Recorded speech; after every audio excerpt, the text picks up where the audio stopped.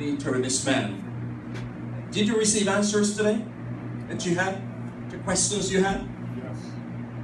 But I thought it was just for him. But I've never, I've never, I, well, I should say never, but it's a long time since I've been in a service where there were so many clear answers and directives from the Word of God given.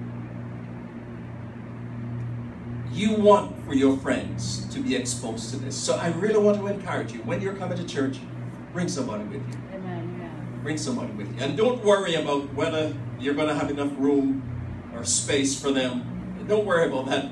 Pastor will look after that. He'll deal with that. But um, but bring somebody with you because what God is doing here is really amazing. Amen. Okay, Pastor will give us our closing prayer and benediction in Jesus' name. Thank God for you, sir. And thank you.